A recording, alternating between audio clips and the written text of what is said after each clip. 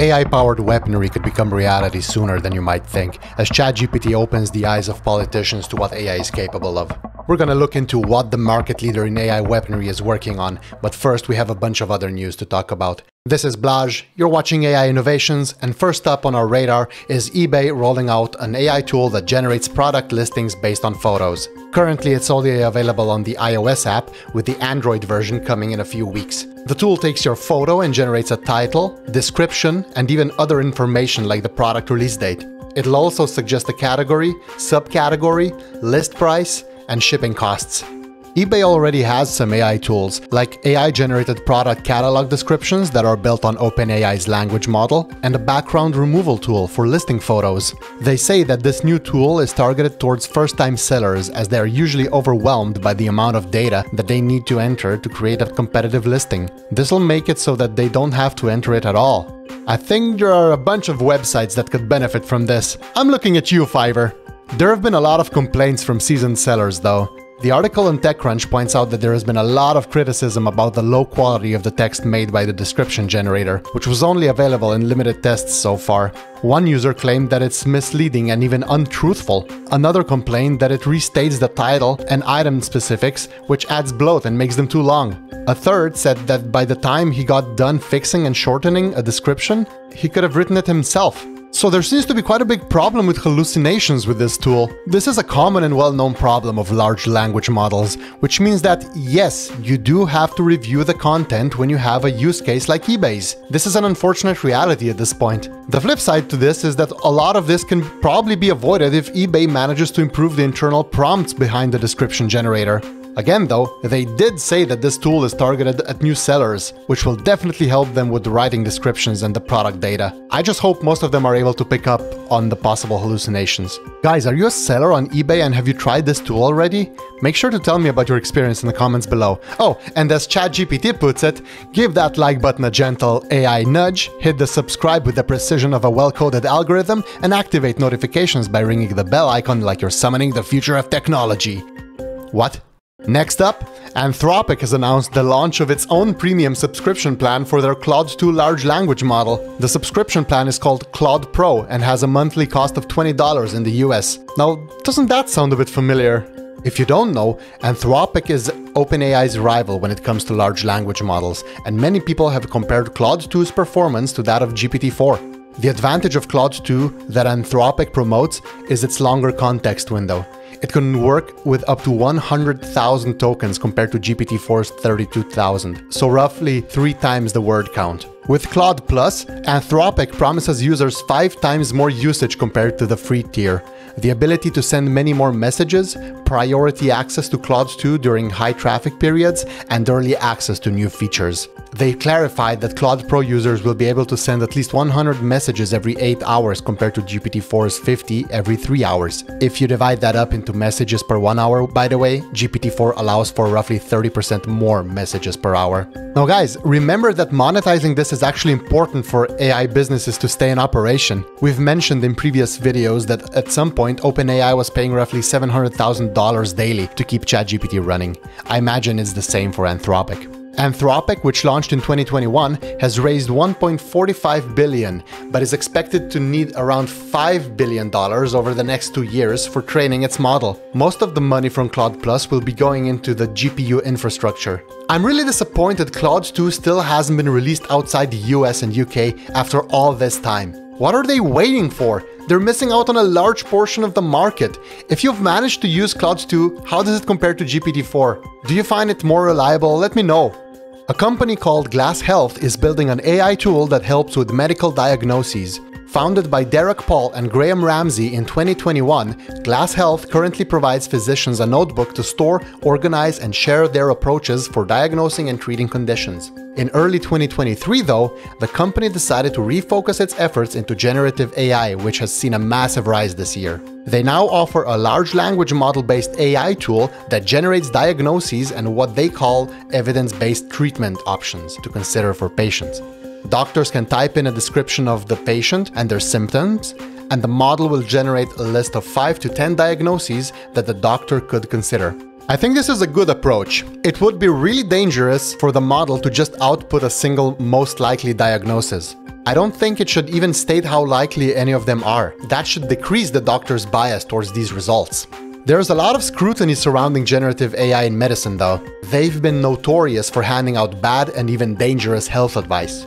I do hope, however, that they can be improved soon. Doctors should also be trained to use them responsibly. Glass Health is aware of this scrutiny and assured that their AI is already superior to many of the current solutions on the market. The model connects to clinical guidelines written and peer-reviewed by their academic physician team, and they emphasize that the model should be treated as an assistant that can offer recommendations and options to consider, but should never replace the doctor's clinical judgment. TechCrunch points out that the doctors themselves could be biased towards the patient's race, gender, or socioeconomic status when typing out the patient data into the model, and the model's diagnosis would reflect that. But I think that's exactly where the model could shine. I'd argue that the information that they call biased could be important for diagnoses and should absolutely be considered by doctors and the model when it makes sense. My point is, you could design the model to either point out any possible bias from the doctor or take the data into consideration if it has reason to believe that it might be causing certain symptoms. Some diseases are more common in certain races and genders. For example, based on a paper by the Asthma and Allergy Foundation of America, black females have a four times higher chance of dying due to asthma than white males, and Puerto Ricans are more than twice as likely to have asthma than white Americans.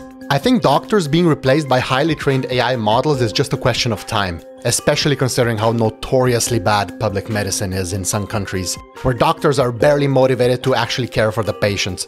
The downside to this model is that these very doctors could misuse it due to the pure laziness and just pick a diagnosis that is handily generated for them by an AI. Do you think this could be a problem? Would you trust an AI model over a doctor? In another short but significant story this week, the Indian company Jio Platforms, a subsidiary of Reliance Industries, has partnered with Nvidia to build their own large language model trained on India's diverse languages. This is quite significant as India has yet to make a mark in the global AI market, despite being the world's most populous country. That means this move by Reliance Industries will be locally completely uncontested. What's also important is that India has taken a different approach with AI regulation in that it won't be regulating it at all. This news can be dated all the way back to April, so it's interesting to see it took this long to make a move in the space after such an AI-friendly decision. The AI infrastructure they plan to build will apparently be over an order of magnitude more powerful than the fastest supercomputer in India today, and will be equipped with NVIDIA's GH200 Grace Hopper superchip, DGX Cloud, and frameworks for crafting advanced AI models. I'm really surprised that a country so well known for its powerful world-class tech sector has taken this long to make a move. It'll be interesting to see if they'll be able to catch up with the rest of the world. Moving on, I'd like to quickly mention that OpenAI has announced its first developer conference called OpenAI Dev Day, which will be taking place on November 6th in San Francisco. It'll apparently be a one-day event where developers from around the world and the team at OpenAI will be previewing new tools and exchanging ideas. Make sure to sign up at the link in their blog post if you want to learn more. In our last story, Palmer Luckey, the founder of Anduril, said in an interview with Breaking Defense that AI tools like ChatGPT have made politicians more comfortable with AI. He says that ChatGPT has been more helpful to Anduril's business than any technology in the last 10 years. He also clarified, by the way, that ChatGPT isn't actually running any of their products, it's just generating interest. If you don't know, Anduril builds military technology like drones, surveillance towers, and underwater vehicles that are powered by their AI software system called Lattice. Anduril has also announced recently the acquisition of Blue Force Technologies, which is developing an autonomous fighter jet that will in fact be running on Lattice. There are a few benefits of AI-driven vehicles like the Fury fighter jet. Since it doesn't need to accommodate a squishy human to operate it, it can be much smaller, lighter, faster, have much less equipment on board, and most importantly, doesn't put the operator in danger. I can't say the same for the targets though.